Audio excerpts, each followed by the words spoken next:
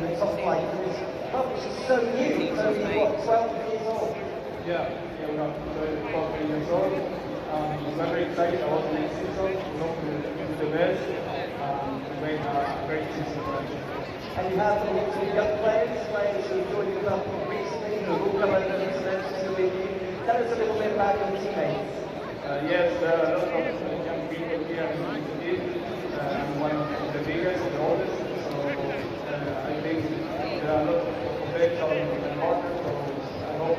Of course, you, you wear blue,